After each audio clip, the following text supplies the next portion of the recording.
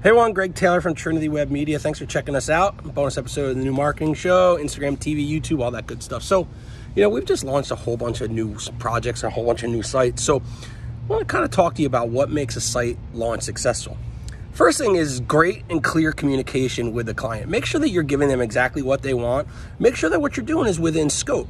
Now, if you do anything that's out of scope, that's on you.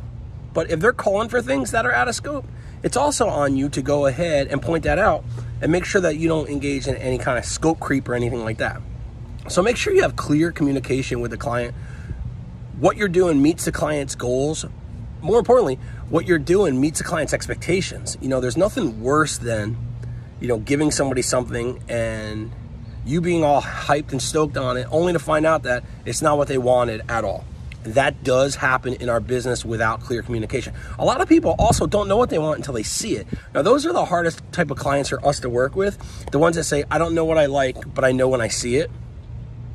That's difficult. That's really, really hard on our end. It's hard for everybody.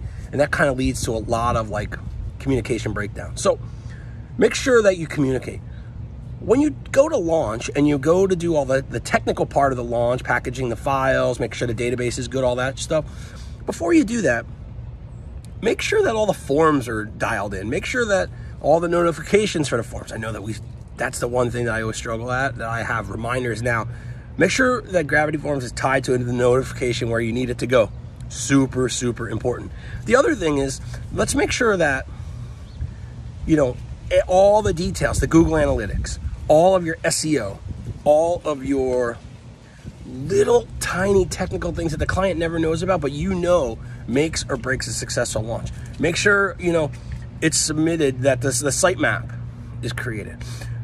Make sure there's an SSL on it. And when there is an SSL, go back and use, uh, I used the plugin just called SSL to make sure and run it through whynopadlock.com. And what that does is that makes sure that there isn't any mixed content that would prohibit you from displaying a secure connection. Secure, secure, secure connections are everything when it comes to e-commerce, when it comes to donations, when it comes to all that.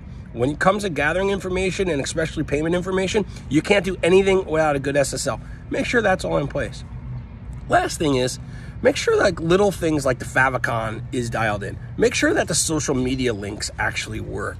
Just test, test, test. The more you test, the better things are going to be and the happier your client's going to be. You know, like I said before, the devil in, is in the details when it comes to a launch. Make sure all your details are lined up.